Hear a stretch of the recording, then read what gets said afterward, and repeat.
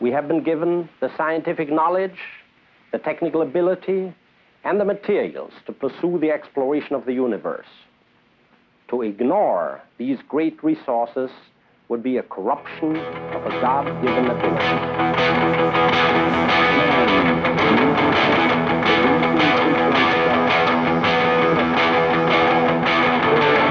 Sun turning round. with graceful.